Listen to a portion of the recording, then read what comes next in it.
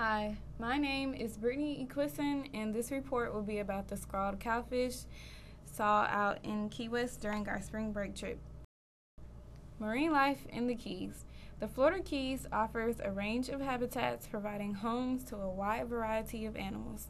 Highlights along the way include Key Largo, Islamorada, Marathon, Big Pine Key, and the irrepressible Key West. As a member of the family Ostracidae, the scrawled cowfish is a close relative of boxfish and trunkfish. It is found in the tropical and temperate waters of the Atlantic Ocean. It lives in shallow water, primarily in seagrass beds to depths of 262 feet. I actually saw this species at the campgrounds in shallow water during our 24 hour labs as well as in, well, at Bahia Honda Bay State Park as we went snorkeling. Its diet includes sessile, sessile invertebrates such as tunicates and gorgonians.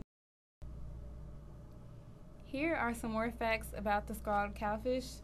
The biology of the species is covered with hexagonal shaped dermal plates that are securely fused together to form a carapace.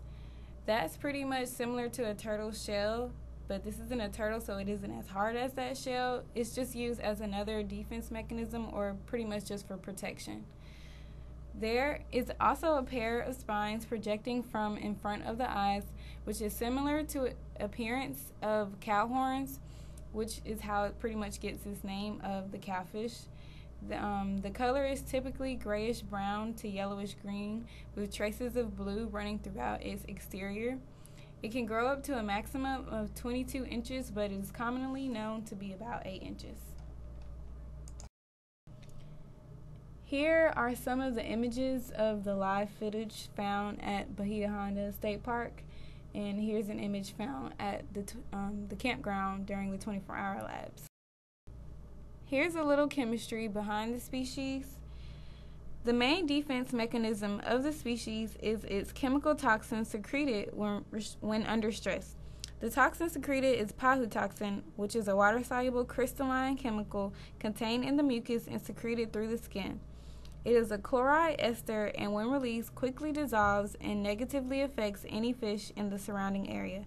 These toxins are similar to detergents, which has a potential to interfere with receptor mediated processes in marine life.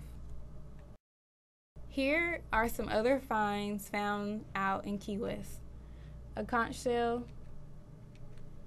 a GQ model, a Caribbean starfish, a real model, and friendship.